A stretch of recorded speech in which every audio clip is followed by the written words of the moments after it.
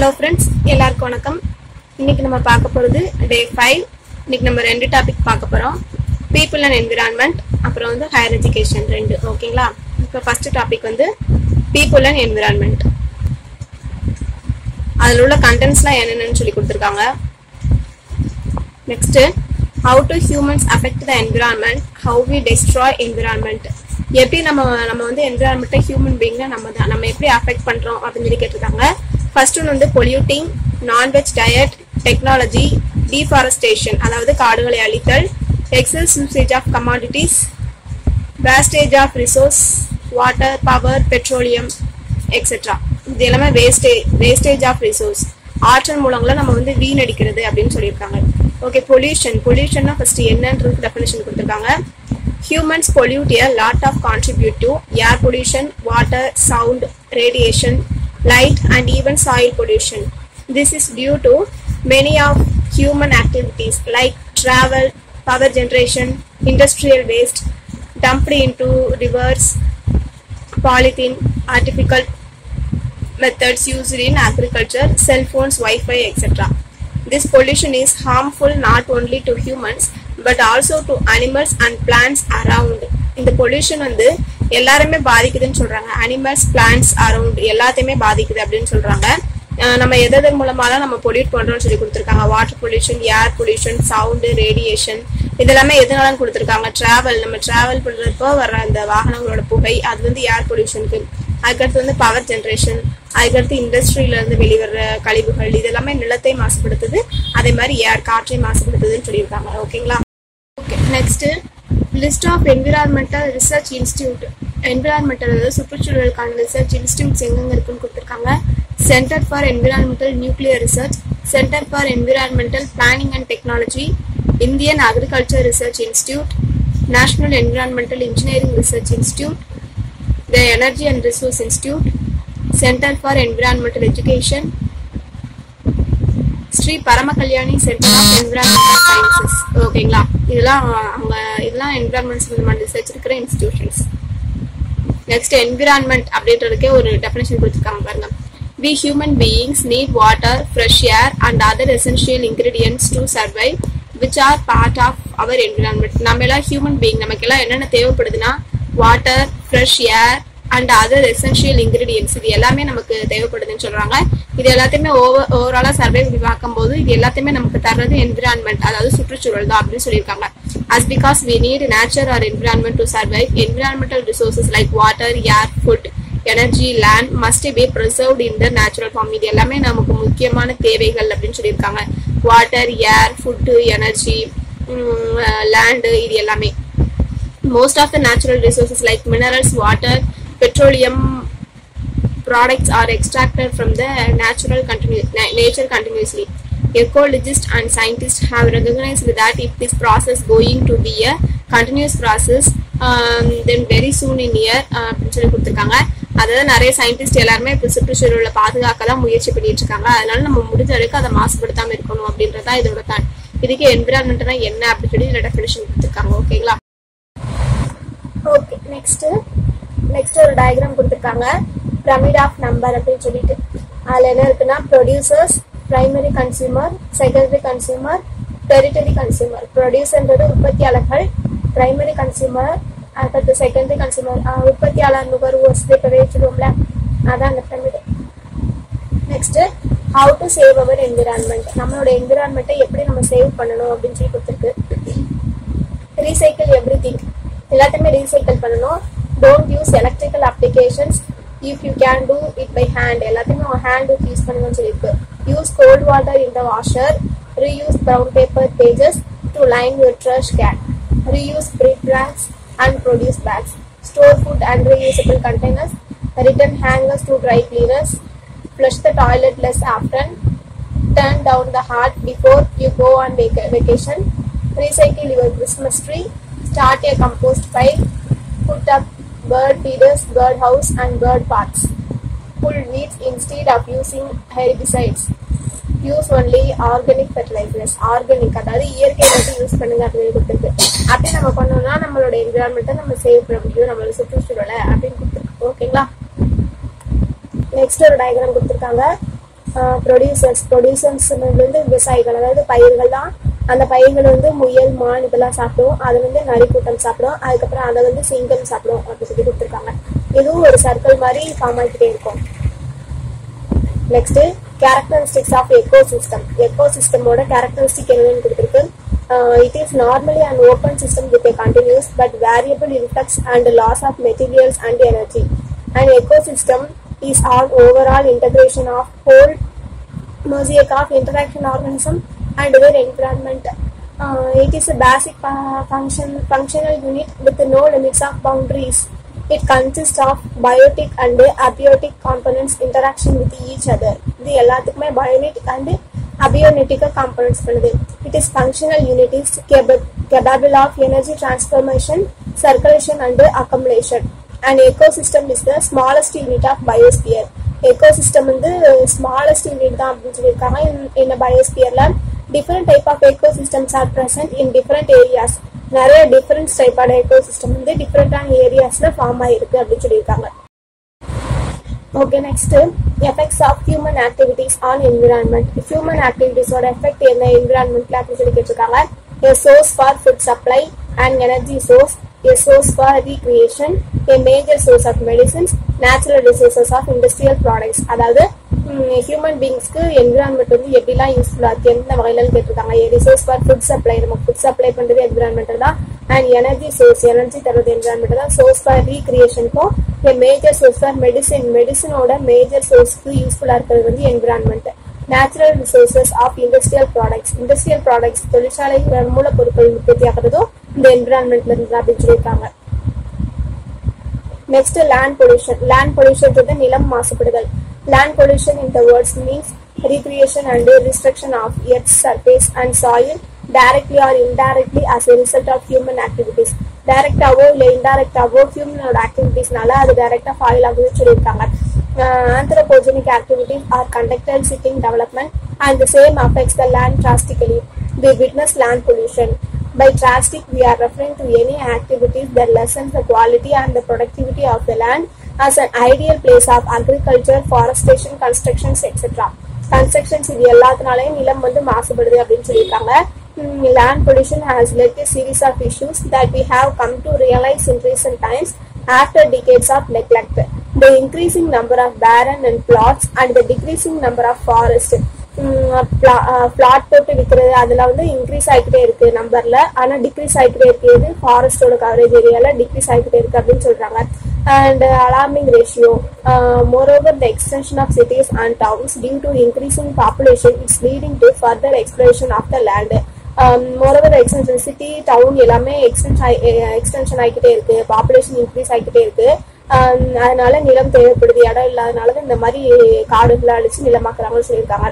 Landfills and reclamations are being planned and executed to meet the increased demand of lands அதனால நிலத்தோட தேவை அதிகமாகிட்டே இருக்கு நிலத்தோட டிமாண்டும் அதிகமாகிட்டே இருக்கு அப்படின்னு சொல்றாங்க wind energy அதாவது காற்றாற்றல் the earth's wind are cast by pressure differences across the earth's surface due to uneven heating uh, an estimated 1% to 3% of energy from the sun that hits the earth is covered into wind energy ஆஹ் அதாவது estimate பண்ணா ஒன்ல இருந்து மூணு சதவீத energy வந்து நமக்கு சன்ல இருந்தே கிடைக்குது அப்படின்னு சொல்லி சொல்லியிருக்காங்க the earth is covered into wind energy அது சாதாரணமாகவே விண்ட் எனர்ஜி காற்றாற்றல் வந்து அதை கா- காற்றா கன்வெர்ட் பண்ணிக்கும் அப்படின்னு சொல்லியிருக்காங்க the principle of wind is simple mm, the poles receive less energy uh, than the equator does from the sun also land heats up and cools down more quickly than the e- than the seas the difference between the seas and the land causes a global atmospheric conversion system அதாவது தி- திடீர்னு நிலம் வந்து cooling ஆகுது. அந்த பருவநிலை மாற்றம்னு சொல்லுவாங்க இல்லையா?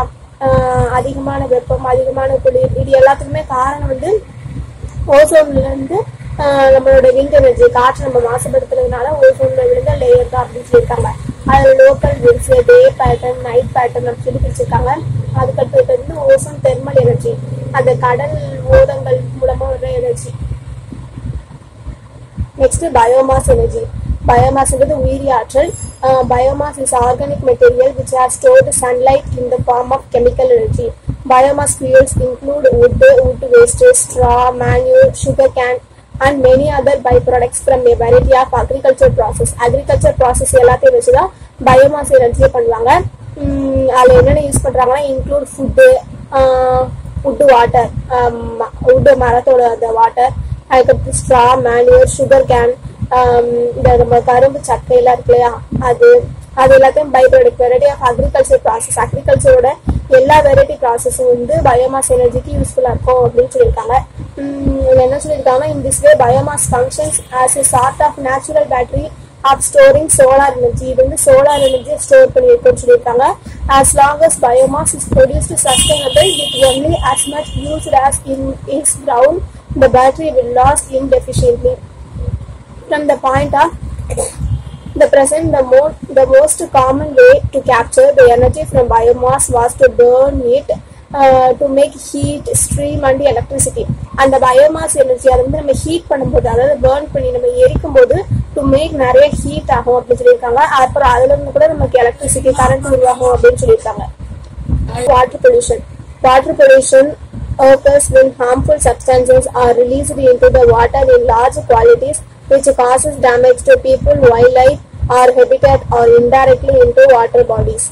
Water pollution எதை affect பண்ணுதுன்னா டைரக்டா plant and organism living in the bodies of water and in almost all cases the effect is damaging leading to individual species and also to the biological communities communities Water பொல்யூஷனோட sources என்னன்னு சொல்லியிருக்காங்க chemicals தான். Chemical and other contaminates are basic source of water pollution contaminates may include organic and inorganic substances இது எல்லாமே water பொல்யூஷனோட sources சொல்லியிருக்காங்க. அதுக்கடுத்து effect of water pollution அந்த water பொல்யூஷனோட எஃபெக்ட் என்னென்ன அது என்னென்ன பண்ணுதுன்னா water pollution is major problem in the global context it has been suggested that it is the leading wild life cause of and and diseases and that is accounts of uh, accounts for the death of more than 14,000 people daily.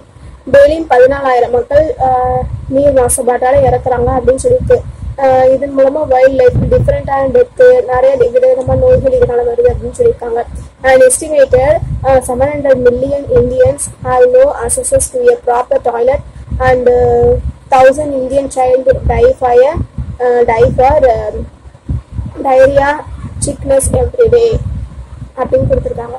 ஓகேங்களா? Daily எழுநூறு எழுநூறு million இந்திய இந்திய மக்கள் கிட்ட ப்ராப்பரான toilet இல்லைன்னும் ஆயிரம் இந்திய இந்திய குழந்தைங்க சின்ன குழந்தைங்க வந்து ஆஹ், இந்த மாதிரி வாட்டர் ப்ராப்ளத்தால வர்ற நோயினால இறக்குறாங்க அப்படின்னு சொல்லியிருக்காங்க.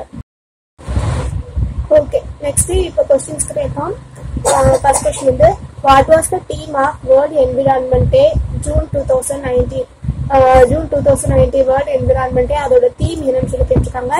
Uh, ஆப்ஷன் வந்து save the water air pollution conservation of biodiversity இதுல எதுவும் இல்லை.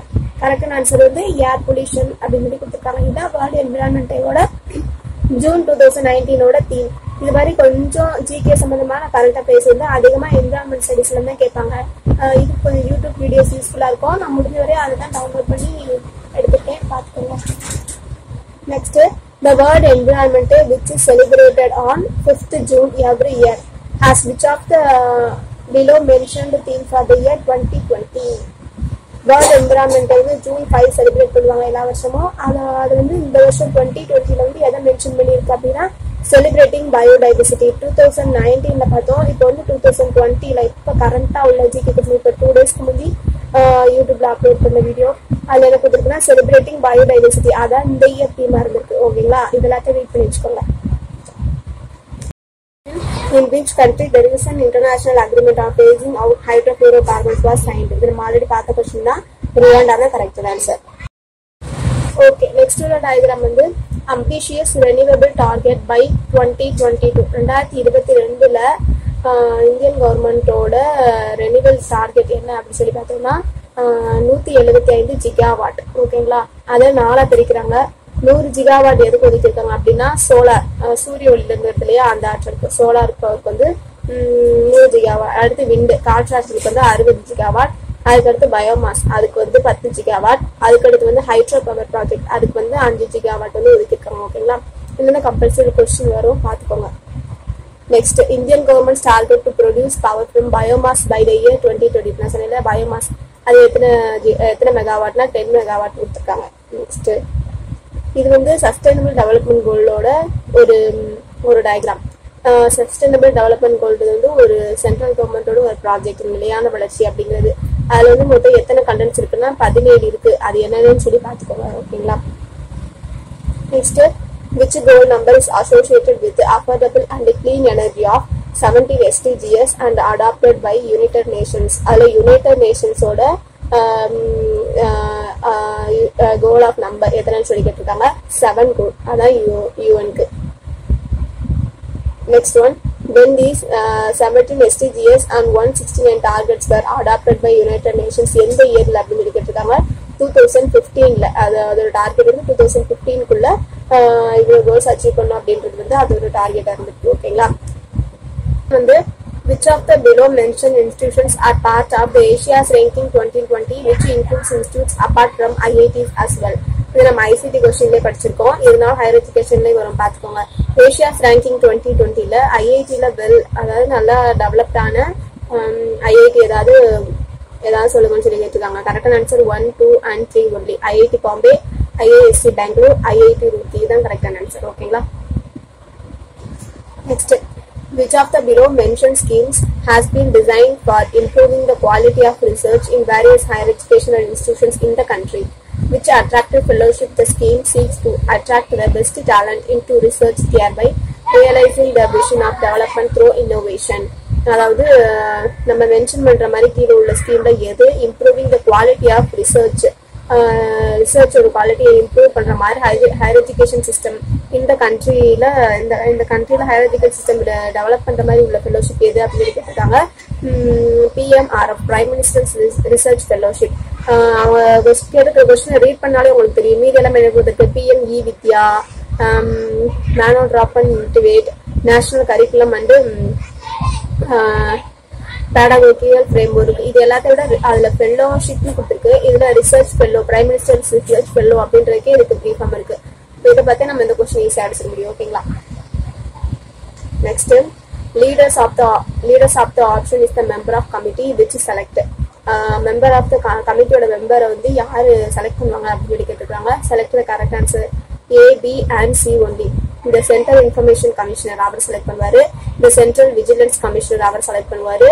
And C the chairperson of national human rights commission our select பண்ணுவார் ஓகேங்களா யார் செலக்ட் பண்ண மாட்டாங்க chairperson of national commission for women அவர் வந்து உமன் அவர் வந்து இதை வந்து செலக்ட் பண்ண மாட்டார் அப்படின்னு சொல்லியிருக்காங்க. மீதி எல்லா பேருமே செலக்ட் பண்ணுவாங்க. உமன் அப்படிங்கிறவங்களுக்கு வந்து தனியான ஒரு ரூல் இருக்கு இல்லையா? அவங்களுக்கு தனி துறை தனி அமைச்சரவையில இருக்கு. அதனால அவங்க இதுக்குள்ள வர மாட்டாங்க ஓகேங்களா okay next a source of renewable power which can be developed with minimum cost கொடுத்துருக்கிற ரெனியூவபிள் பவர்ல எது மினிமம் காஸ்ட்ல டெவலப் பண்றதுக்கு கொடுத்துருக்காங்க பயோமாஸ் பவர் பயோமாஸ் பவர் தான் மினிமம் காஸ்ட்ல நம்ம டெவலப் பண்ற power next The annual range of temperature in the interior of the continents is high compared to coastal areas. Coastal areasன்றது கடலோர பகுதி அதில் வந்து கம்பேர் பண்ணும்போது ஆனுவல் ரேஞ்ச் ஆஃப் டெம்பரேச்சர் அதிகமாக இருக்கிறது high high compare to coastal areas எதுன்னு சொல்லி கேட்டிருக்காங்க. அதுக்கு ஆன்சர் வந்து sea pressures of strong winds இந்த இன்டீரியர் ஸ்ட்ராங்கான விண்டு அழுத்தம் காற்று அழுத்தம் அதிகமாக இருக்கிறது? அந்த கடலோரத்தில் வந்து கம்பேர் பண்ணும்போது அதிகமான டெம்பரேச்சர் இருக்கிறதுக்கு காரணம் அப்படி சொல்லி கொடுத்துருக்காங்க. ஓகேங்களா மற்ற ஹெவி ரெயினோ வேரியேஷன் ஆகுறதோ அப்புறம் தெர்மல் டிஃபரன்ஸோ வேற எதுவும் காரணம் கிடையாது. Next efficiency of electric power generation is least among the following source of energy in case of geothermal. Uh, அதாவது எலக்ட்ரிக்கல் பவர் ஜென்ரேஷன் இதில் least among the following source energy எதுனா uh, அது வந்து ஜியோ தெர்மல் பவர் ஜென்ரேஷன் அதாவது புவி வெப்பமாக பார்த்தா least energy source of எனர்ஜின்னு சொல்கிறாங்க ஓகே நெக்ஸ்ட் கொஸ்டின் என்னன்னா India has the largest higher education system in the world after India தான் லார்ஜஸ்ட் ஹையர் எஜுகேஷன் சிஸ்டம் கொண்டு இருக்கு. இந்த வேர்ல்டுல எதுக்கு எதுக்கு அப்புறம் அப்படின்னா வேர்ல்டு ஆஃப்டர் எந்த ரெண்டுக்கு அப்புறம் அப்படின்னா option four a and c one யாராவது United States of America and China ரெண்டுக்கு அப்புறம் தேர்டா லார்ஜஸ்ட் ஹையர் எஜுகேஷன் சிஸ்டம் கொண்டு இருக்கிறது இந்தியா தான் அப்படின்னு சொல்லியிருக்காங்க. ஓகேங்களா? Next in which year education commission under the chairmanship of doctor S Kothari was set doctors doctor S Kothari commission அதான் வந்து ஹையர் எஜுகேஷன்ல ஒரு முக்கியமான கமிஷன் அந்த கமிஷன் கொண்டு வந்த இயர் எப்போ அப்படின்னு சொல்லி கேட்டிருக்காங்க. ஆன்சர் வந்து நைன்டீன் சிக்ஸ்டி ஃபோர் இதான் கரெக்டான ஆன்சர் நெக்ஸ்ட் the UGC, அதாவது University Grants Commission was formally inaugurated on 28 December 1953 by whom among the following யாரோட பரிந்துரையின் பேர்ல? இந்த யூஜிசி வந்து ஃபார்மலா இனாகிரேட் பண்ணாங்க. In December nineteen fifty three எப்போ யாரோட பரிந்துரை? சென் மௌலானா அப்துல் கலாம் ஆசாத் அவரோட பீரியட்ல ஓகேங்களா conflict for the day-to-day administration of university which of the following bodies of the, uh, which of the following bodies is responsible அது சிண்டிகேட் அண்ட் எக்ஸிக்யூட்டிவ் கவுன்சில் இதுதான் இந்த administration யூனிவர்சிட்டிக்கு வந்து ரெஸ்பான்சிபிலிட்டின்னு சொல்லியிருக்காங்க சிண்டிகேட் அண்ட் எக்ஸிக்யூட்டிவ் கவுன்சில் மீதி எல்லாம் senate student council academic council இது எல்லாமே ஸ்டூடெண்ட் சம்மந்தமானது மற்ற அட்மினிஸ்ட்ரேஷன் சம்மந்தமானது வந்து சிண்டிகேட் தான் வரும் next the main aim of faculty recharge scheme of UGC was to யூஜிசியோட main aim அதாவது ஃபேக்கல்டி ரீசார்ஜ் இது கரெக்டாக சொல்லி இருக்காங்க address the shortage of faculty in higher education institutions higher education இன்ஸ்டிடியூஷன்ல வந்து பற்றாக்குறையான ஃபேக்கல்டி ஷார்டேஜ்ல பற்றாக்குறை பற்றாக்குறையான ஃபேக்கல்டி மெம்பர்ஸ் வந்து நீக்கணும் அப்படிங்கறதா யூஜிசியோட முக்கியமான ஸ்கீம் அப்படின்னு சொல்லி கொடுத்துருக்காங்க பற்றாக்குறையான ஆசிரியர்கள் நீக்கி அது ஆசிரியர்கள் அதிகமா போடணும் ஓகேங்களா okay next select the right pillars of the draft for new educational policy two thousand நைன்டீன்ல pillars எது எதுன்னு சொல்லி செலக்ட் பண்ண சொல்லியிருக்காங்க. Access equity quality affordability and accountability so C is the correct answer ஓகேங்களா இந்த இது எல்லாத்தையும் தான் கரெக்டான பில்லர்னு சொல்றாங்க. நியூ எஜுகேஷனல் பாலிசியோட பில்லர்னு சொல்றாங்க.